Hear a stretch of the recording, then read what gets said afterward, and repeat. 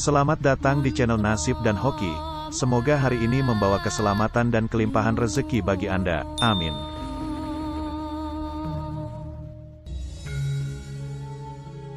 Assalamualaikum, salam sejahtera, Om Swastiastu, Rahayu, Rahayu, Rahayu.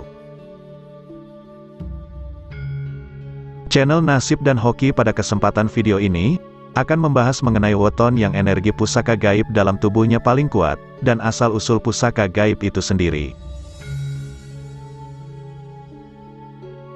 Sebelum kita masuk dalam pokok inti bahasan, kita akan membahas terlebih dahulu apakah pusaka gaib itu, dan dari mana asal-usulnya. Secara umum, pusaka gaib merupakan benda pusaka yang secara fisik sudah moksa ke dimensi alam lain, sehingga apabila dilihat dengan mata lahir tidak akan bisa kelihatan. Meskipun tidak terlihat, namun energi keberadaannya dapat dirasakan oleh mereka yang memiliki suatu kepekaan batin atau kepekaan cakra ajna mata ketiga. Ada beberapa sebab kenapa benda pusaka bisa moksa ke dimensi lain dan kemudian menjelma menjadi pusaka gaib.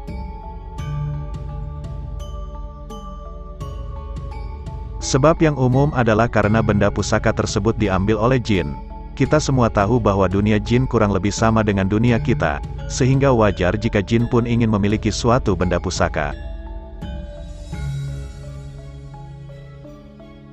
Benda pusaka yang diambil oleh jin, biasanya adalah benda pusaka yang sudah lama tidak ada yang merawatnya, seperti pusaka yang terpendam di dalam tanah ketika terjadi bencana alam, pusaka yang tertinggal di medan perang dan terkubur, pusaka yang tenggelam di dasar laut atau sungai, dan lain-lain.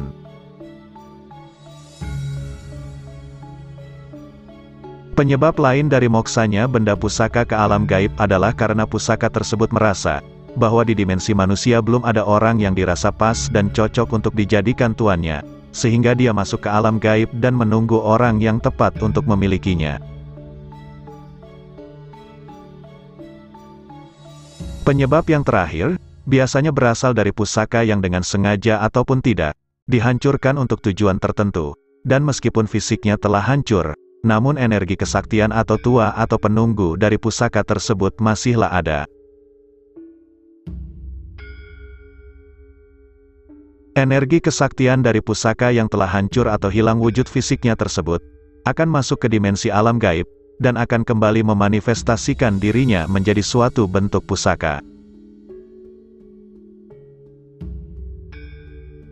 Bentuk pusaka inilah yang kemudian juga sering diambil alih oleh para jin untuk dijadikan senjata mereka, tentunya setelah jin tersebut berhasil mengalahkan atau melewati suatu kesepakatan tertentu dengan pusaka gaib itu. Sebuah benda pusaka dikatakan sakti bukan karena pusaka tersebut diisi oleh hodam tertentu, namun kesaktian pusaka terletak pada empu yang membuatnya.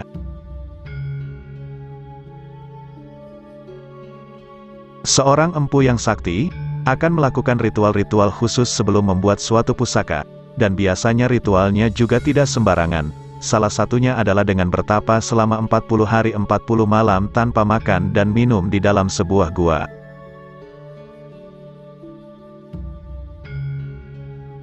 Dan ketika dalam proses pembuatannya, empu tersebut akan melibatkan kesaktian dan segenap unsur dari alam semesta. Bahkan tidak jarang, seorang empu yang sakti akan dibantu oleh malaikat, jin, dan bahkan setan di dalam proses membuat sebuah pusaka yang sakti. Energi-energi yang terlibat dalam pembuatan pusaka tersebut, akan masuk terserap dan terkumpul di dalam sebuah pusaka tadi, dan itulah yang menjadikan mengapa suatu pusaka bisa dibilang sakti. Seseorang yang memiliki pusaka gaib akan membawa beberapa ciri-ciri tertentu, bahkan juga akan nampak pada garis telapak tangannya, di mana hal itu sudah kita bahas pada video sebelumnya yang dapat Anda temukan linknya di dalam deskripsi video ini. Lalu pertanyaannya adalah, bagaimana suatu pusaka gaib bisa masuk ke dalam tubuh manusia, ataupun hadir kembali secara fisik di alam nyata. Penyebab pusaka gaib masuk ke dalam tubuh manusia yang pertama adalah karena faktor keturunan atau biasa disebut dengan warisan leluhur. Biasanya mereka yang terpilih ini, memiliki suatu tugas untuk melanjutkan keilmuan leluhur yang memang sudah turun-temurun, semisal dalam ilmu penyembuhan metafisik. Penyebab selanjutnya, juga bisa karena dititipi oleh hodam pendampingnya, seseorang yang memiliki hodam pendamping, tidak jarang akan menjadi tempat penitipan pusaka gaib dari hodamnya. Kemudian, Seseorang juga bisa mempunyai pusaka gaib di dalam dirinya, karena telah melakukan ritual atau mempelajari keilmuan tertentu. Dan yang terakhir mengapa seseorang bisa memiliki pusaka gaib di dalam tubuhnya adalah, pusaka gaib tersebut datang dengan sendirinya, karena merasa ada kesamaan dalam energi dan suatu hal yang lain. Sebagai contoh dalam hal ini adalah, Pusaka gaib dengan tua penyembuhan, akan datang dan ikut kepada seseorang yang memang tulus dalam membantu mengobati dan menyembuhkan orang yang sakit. Pusaka gaib juga akan bisa hadir kembali ke dunia nyata dengan wujud aslinya, dengan cara melalui proses ritual penarikan pusaka alam gaib. Benda-benda pusaka hasil penarikan dari alam gaib, tentunya akan bisa dilihat dengan mata biasa dan juga memiliki dua ciri tertentu. Ciri yang pertama, setelah benda pusaka tersebut berhasil ditarik keluar dari alam gaib, maka akan terasa hangat ketika digenggam, hal ini bisa terjadi karena pada saat proses penarikan terjadi benturan energi. Ciri yang kedua adalah, bahwa benda pusaka tersebut akan mengeluarkan aroma wangi mistis tertentu yang akan bertahan paling tidak selama dua hari. Pusaka gaib yang ada di dalam tubuh manusia bisa didaya gunakan melalui beberapa cara, yaitu melalui cara aktif dan cara pasif. Cara aktif artinya, kita mampu mengendalikan pusaka gaib tersebut untuk mengikuti semua yang kita perintahkan, semisal untuk menyerang, mengobati, membentuk benteng gaib, dan lain-lain.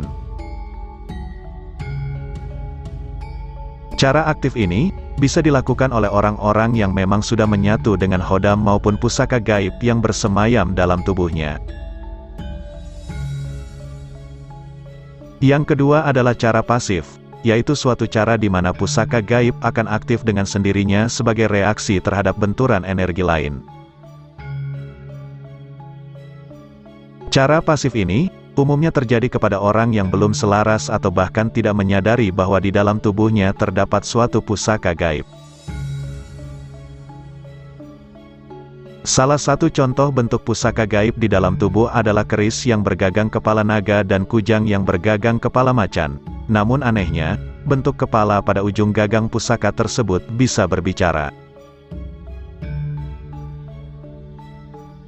Besar kecil energi yang dimiliki oleh pusaka gaib di dalam tubuh manusia, selain dari keselarasan energi keduanya, juga dipengaruhi oleh banyak faktor. Salah satunya adalah faktor manusianya sendiri yang dapat dilihat dari weton lahirnya. Weton yang energi pusaka gaib di dalam dirinya paling kuat, dipengaruhi oleh beberapa hal, yaitu dominasi cakra, watak naungan punjul, dan weton yang dikeramatkan. Weton yang memiliki dominasi cakra, artinya juga memiliki energi spiritual paling kuat dibanding dengan weton yang lainnya. Weton dominasi cakra yang pertama adalah dominasi cakra dasar, di mana dimiliki oleh weton Minggupon. Yang kedua adalah weton dengan dominasi cakra seks, di mana dimiliki oleh weton Senin Legi. Posisi ketiga adalah weton dengan dominasi cakra jantung, di mana dimiliki oleh weton Rabu Pahing.